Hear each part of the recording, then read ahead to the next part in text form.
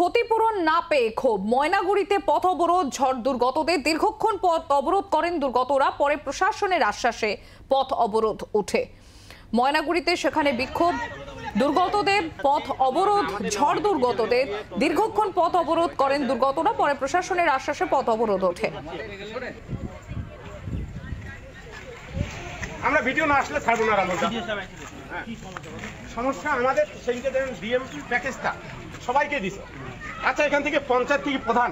ইনকোয়ারিতে যাইতে পারে? দশ মিনিট লাগবে। একটা যেটা সার্ভে হয়েছে সার্ভে লিস্টে আসতেছে।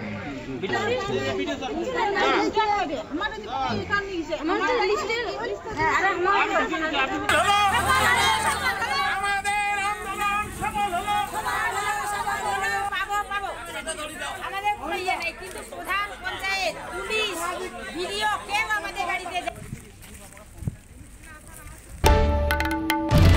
বাংলার আওয়াজ বাঙালির আবেগ। জি চব্বিশ ঘণ্টা।